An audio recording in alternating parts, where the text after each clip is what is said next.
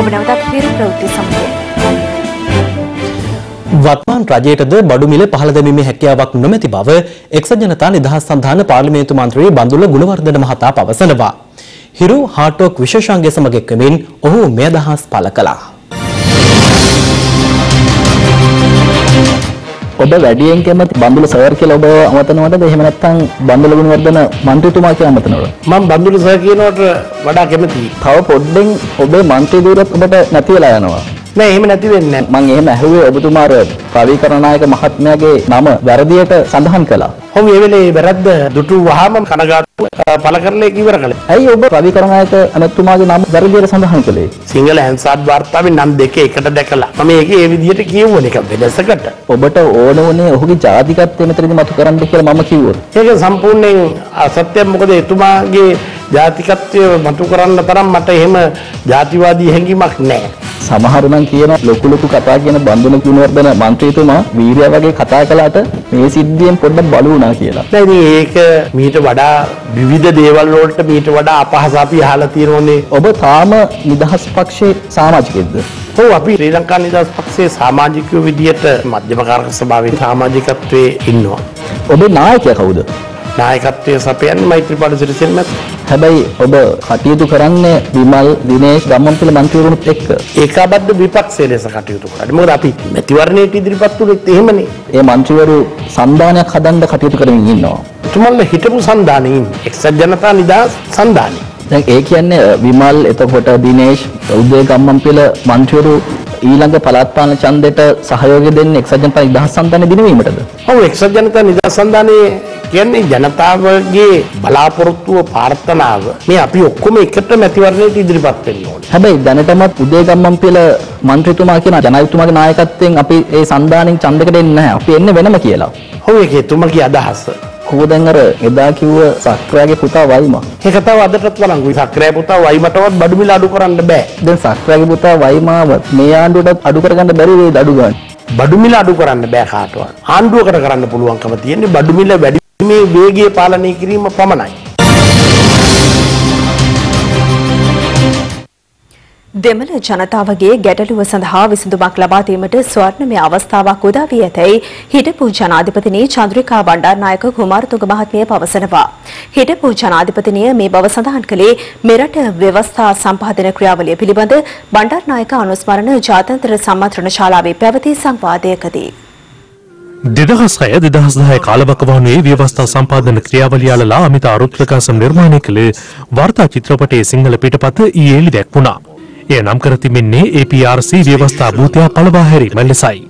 චිත්‍රපටය ප්‍රදර්ශනය කිරීමෙන් අනතුරුව හිටපු ජනාධිපතිනි චන්ද්‍රිකා බණ්ඩාරනායක කුමාරතුංග මහත්මිය ජාතික සංවාද පිළිබඳ අමාත්‍ය මනෝ ගණේෂන් මහතා සහ විද්වතුන් පිරිසගේ සහභාගීත්වයෙන් ව්‍යවස්ථා සම්පාදනය සහ දෙමළ ජනතාවගේ ගැටලුව සම්බන්ධයෙන් සංවාදයක් පැවැත්වුණා. දෙමළ ජනතාවගේ ප්‍රශ්නය වුණාවේ නිදහස් ජීවිතයේ පමණක් නෙවෙයි. දෙමළ ජනතාව බෞද්ධ ජීවත් කරන තැන්වල ස්ථානවල පළාත්වල අභ්‍යන්තර කටයුතු කරගන්න දේශපාලන අයිතිය වුණා වෙනවා. ඒකයි බලයකදී. මේකයි මේ දෙමළ ජනතාවගේ ප්‍රධාන දේශපාලන ප්‍රශ්නය. යාපනයේ බලය අවශ්‍ය වගේම මහියනකට අවශ්‍යයි. මේ මොනවාකට අවශ්‍යයි. බලයකදී කියන නරක දෙයක් නෙවෙයි. බලයකදී මට්ට මොකද? ෆෙඩරල්ද ඒකීයද තම මේ වෙන මොනවද කියලා කියන එකට ඊට පෙර සිදුවේ අවුරුදු 60ක් 70ක් තිස්සේ පක්ෂයක් බලයට ඇවිල්ලා විසඳුම් කරන්න හදනකොට අනිත් පක්ෂය පටු ආකල්ප නිසා එකට විරුද්ධ වෙනවා. ඒකට මේක වුණා. එදාදී ලොකු අපාවාදී වුණාට මම හිතනවා දැන් අපිට ඇත්ත වශයෙන්ම ස්වර්ණමය අවස්ථාවක් ලැබිලා තියෙනවා. ප්‍රධාන පක්ෂ දෙකම එකට අරඳු කරනවා. අනිත් පැත්තෙන් දෙල්දාතාව නියෝජනය කරන ප්‍රබලම පක්ෂයක් මුස්ලිම් පක්ෂයක් ආණ්ඩුවක් එකට කටයුතු කරනවා. හිතන්නේ මේ අවස්ථාව අපි කුරීම වශයෙන් පාවිච්චි කරලා ස්ථිරසාර විසඳුමක් ගෙන එන්නට ඕනේ වෙනවා. නිවා සහ ඉදිකිරීම් නියෝජ්‍ය අමාත්‍ය ඉන්දික බණ්ඩාරනායක මහතාට අද යාපහුව ප්‍රදේශයේ පැවති උත්සවයකදී ජනතා විරෝධයක් එල්ල වුණා. ඒ නව නිවාස ව්‍යාපෘතියකින් Tamanට අසාධාරණයක් සිදු බව පවසමින් නිවාස හා ඉදිකිරීම් අමාත්‍යාංශය මගින් සිදු කරන සැමට සෙවන නිවාස ව්‍යාපෘතියේ එක් අදියරක් සඳහා මුල්ගල තැබීමේ උත්සවය අද යාපහුව සිංහරගම ප්‍රදේශයේදී පැවැත්වුණා. ඒ නියෝජ්‍ය අමාත්‍ය ඉන්දික බණ්ඩාරනායක මහතාගේ ප්‍රධානත්වයෙන් මෙම ව්‍යාපෘතියෙන් Tamanට අසාධාරණයක් වූ බව පවසමින් යාපහුව උදාගම ප්‍රදේශයේ පිරිසක් උත්සවය ආරම්භ වීමට පෙර නියෝජ්‍ය අමාත්‍යවරයාට සිය විරෝධය පළ කළා. මේ ළමයට ඉඩමක් දෙනවා කිව්වා ගේක් හදලා දෙනවා කිව්වා. සර් ඉන්න තැනකුත් නැහැ ගේකුත් නැහැ දැල්ලද ඉන්නේ මගේ ගෙදර. ඔබතුමාවත් මේවට යොමු වෙලා. අපිට සාධාරණ විසඳුමක් දෙන්න. කෙසේ වෙතත් එම අසාධාරණයට පිළියම් ලබා දෙන බවට නියෝජ්‍ය අමාත්‍යවරයා පොරොන්දු වීමෙන් අනතුරුව උත්සවයේ වැඩ කටයුතු ආරම්භ වුණා. නමුත් උත්සවයේ අවසානයේ නිවාසලාභීන් සඳහා චෙක්පත් ප්‍රදානය කිරීමේදී විරෝධතාවය නැවත මතුවුණේ Tamanට විසඳුම් නොලැබූ බව පවසමින්. අපේ සර් ඔබතුමාට දෙන්න මේ මේ දුන්න පත්‍රය දෙන්න කියන්නකෝ එට දීලා වැඩක් නැහැ නේද සර්? දැන් දැන් අපේ කට්ටියට දෙන්න ඕන. ඉතින් මේ මේ මේ කරන්නේ මොකද? දැන් ලියලා නැහැ නේ. ලියලා නැහැ කියන්නේ ඔබතුමාට පස්තරේකට දුන්නානේ. දැන් ඒක යට ගන්න තියෙන්නේ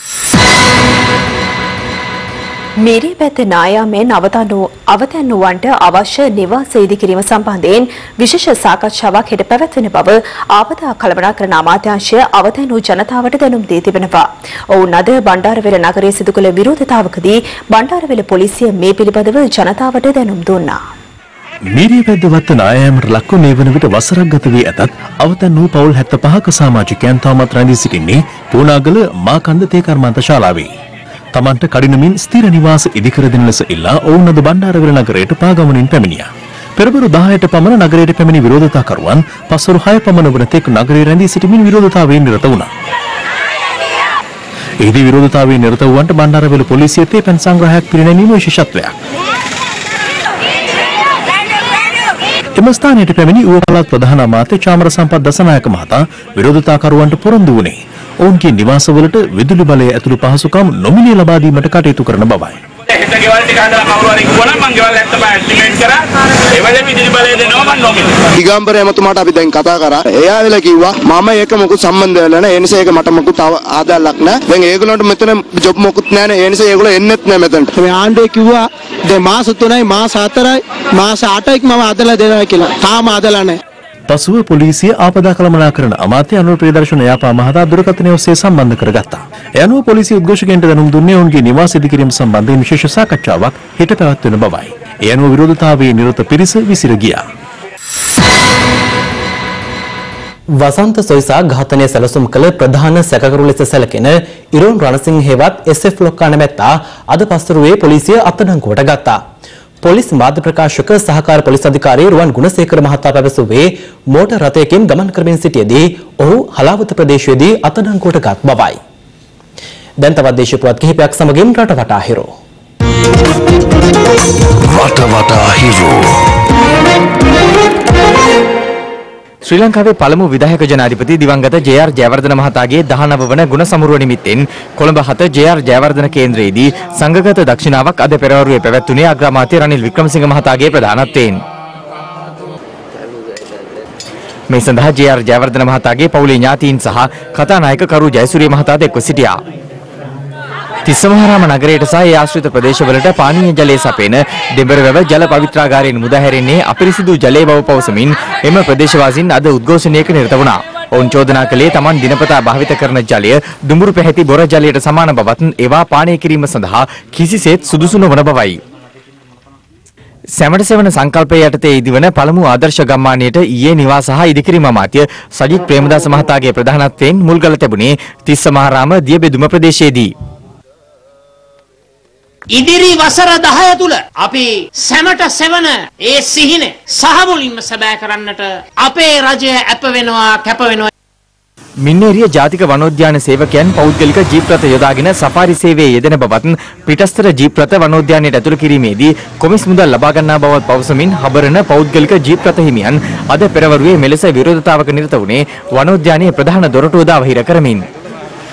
පැල්මඩුල්ල ලෙල්ලුපිටිය ප්‍රදේශයේ බැරැන්ඩුව මන්සන්දියේ ඇති ප්‍රධාන පාලම අනතුරුදායක ලෙස පුපුරා ගොස් ඇති ආකාරයයි මේ.